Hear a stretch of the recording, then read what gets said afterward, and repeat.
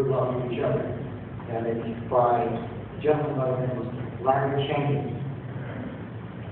I love you, not only for what you are, but for what I am, what I'm living.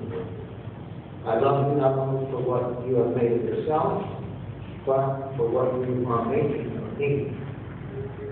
I love you for that part of me that you bring out.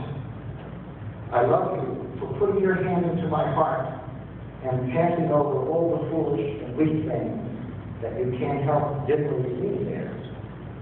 And for drawing out into the light all the beautiful belongings that no one else had looked for quite far.